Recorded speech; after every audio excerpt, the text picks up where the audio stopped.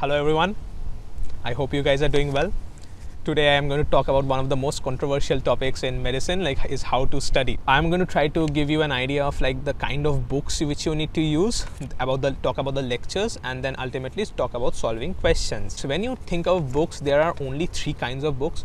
One is reference, second is reading and third is review. So let's start with reference. Reference books are these these kind of books. Like you will not be able to go through them in a year so you know the like names for medicine Harrison, Davidson, for gynecology let's say Williams and uh, Bailey and Love for surgery. These are really difficult to complete in a year. So for reading, I am going to say let target for something which are 500 to 600 pages.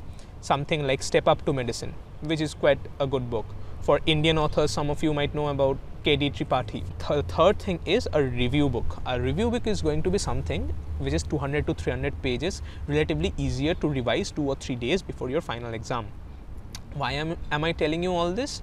Because if you use the reference book as your primary resource from day one, then you are going to really suffer. For the small exams in your college, they are going to divide the whole syllabus into small parts. Let's say superior extremity, thorax, abdomen. So only when you're studying about abdomen and you if you use a reference book let, let's say like the main Gray's anatomy or something like that uh, uh like a big book let's say BD Chaurasia you studied everything from that and uh, you did well. But in the real exam when you need to study the whole human anatomy in and revise the thing in two days that is going to be really difficult to do. That's why you need to fall back on a review book. So in my case what i used to do is i started reading using this reading books or like something or 500 600 pages max and with like a lot of illustrations it can also go up to 1000 so for anatomy i use gray's anatomy for students. Remember for students. Students one is full of illustrations. So the total book is about uh, 1100 pages but like if you cut out the illustrations it's going to be hardly about 500 pages max. So that was really easy to grasp to get an idea of like what i am studying. But to even to revise that in two days just before my exam is not possible. So in that case i will have to use a review book 200 300 pages max just like I told you or my own notes. So in this case i used high yield for anatomy and that's about like what 300 pages max and relatively easier to revise. Don't use a reference book. You are not supposed to know everything about everything. When i am saying this and i know a lot of you are going to give me a tough time on the comment section but you are not supposed to study Harrison's. If you are a mediocre student, let's say I am a mediocre student, I got like five honors, two gold medals, but yeah, you get the point. If you are studying from Harrison's, then you won't be able to finish it number one. Even if you are lucky and you really put in a lot of hard work and you finished it, it's going to be really difficult for you to recall what you read. So try to refer to Harrison's when you absolutely need it. Try to do your like primer or the initial read from these reading books and then take your separate notes or mark this in your review book. Let me give you a quick example of like how I studied medicine. So in medicine, I didn't use Harrison's. I only referred to Harrison's when I absolutely needed it. I studied from Step Up to Medicine. That's a fairly commonly used medicine book here in the United States. It's about 600 pages. It covers everything. So it's more important to know the whole syllabus than to know something very good. You need to be jack of all trades in medical school than to be like a, an expert in thoracic anatomy.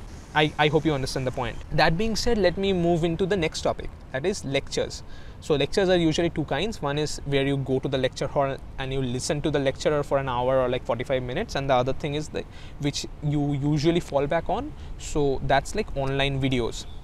I would say always have something to fall back on. I had online videos for everything. If your professor allows it, try to ask him for the PowerPoint presentation and also during the class if he allows it try to ask him if you can record his voice so when you come back home and you revise you have this particular gaps in your memories during that like whole one hour section you can quickly go back through this audio lectures and like find out what's important that being said always have some sort of an online video lecture to fall back on. I will try to link this down. I used a lot of OnlineMedEd videos. So when i used this they only had uh, videos for like the clinical section. But right now they are also expanding into the basic section. The best thing about this is it is absolutely free so you get to like only sign up using your google account and you get like all these videos for free.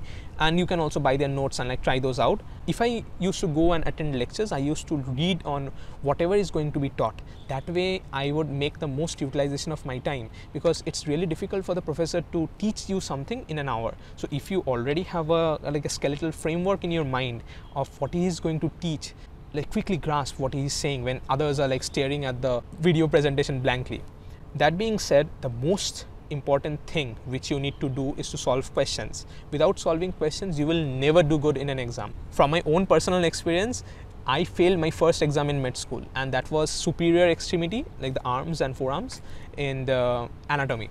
So this was back in 2013 like 2 months after i joined medical school. So i knew everything about everything and don't don't uh, i'm not saying that i didn't study. I studied properly. I studied from gray's anatomy for students like that's a big book but i knew too much.